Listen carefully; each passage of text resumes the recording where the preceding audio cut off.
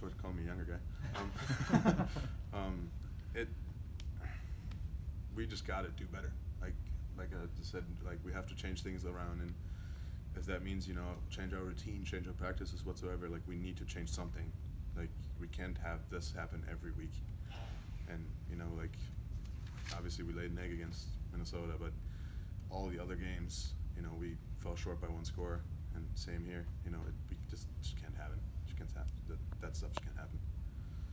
What was Adrian's